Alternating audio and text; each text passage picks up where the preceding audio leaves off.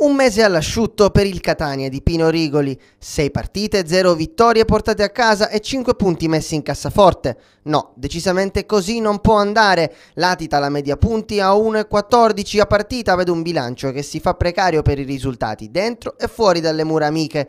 L'esordio contro la Juve Stabia forse aveva fatto presagire un piatto più dolce nel menù della Lega Pro per i tifosi del Catania, invece già dai primi di settembre sono cominciate le difficoltà. Copiose in zone nevralgiche come centrocampo e attacco, meno in difesa, ma giornata per giornata dal Catania si attende una svolta che stenta ad arrivare. Andando su qualche numero sono due i gol fatti e tre subiti nelle ultime sei partite, nessuno dei quali messe a segno dalle punte. Sono 20 i giocatori scesi in campo nell'ultimo mese di campionato che ha visto il Catania affrontare tre neopromosse senza portare a casa la vittoria. 5 pareggi e una sconfitta, dunque è tra le strisce negative più lunghe dell'era moderna. L'anno scorso da febbraio a marzo furono 7 le gare senza trovare i tre punti, con un trend che si interruppe proprio contro il Messina di Argurio allo stadio Massimino, che ancora oggi si presenta come possibile svolta in campionato. Dunque sarà davvero, come dice qualcuno, aria di ultima chiamata per Pino Rigoli?